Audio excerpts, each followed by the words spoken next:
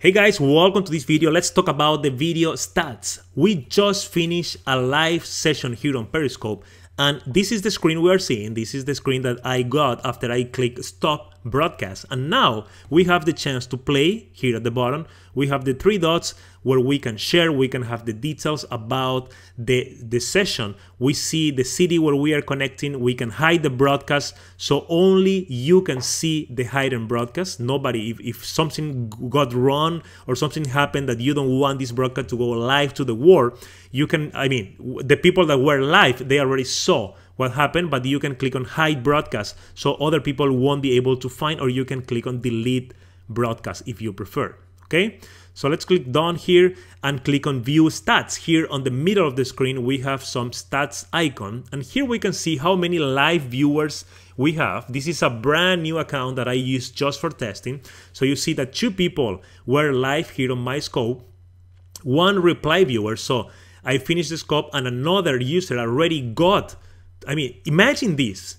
I already have three people that just that view my my my scope here, and it's a brand new account that I just created with you here on on the course. Imagine that. So I have zero followers, nobody knows me here, but I already have three views in a random scope scope without a title because the title that we wrote for this one was title. Actually, the keyword title it was was the, the actual title of the scope. So nothing that caused the attention or anything special.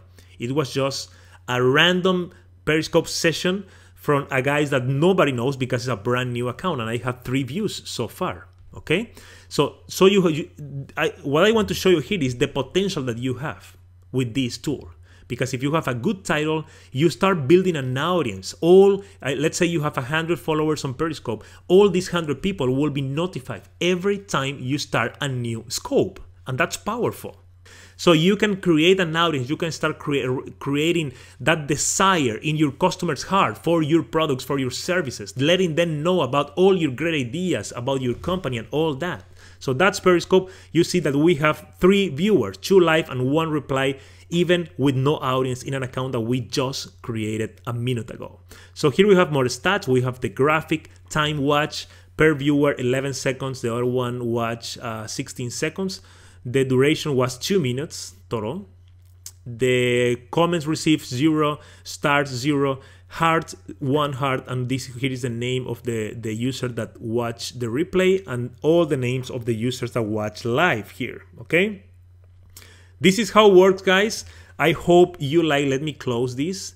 Let me go to my profile now, here at the top.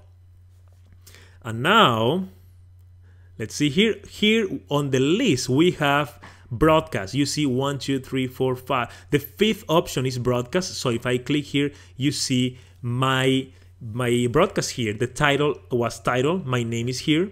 And four minutes ago, three viewers already. So if we play this, here we see the stream going on. So you see the hearts coming. This is great. These these are people that are that are liking what they are seeing. So they are sending hearts to my scope. Okay. I hope you like it and let's continue with the course in the next video.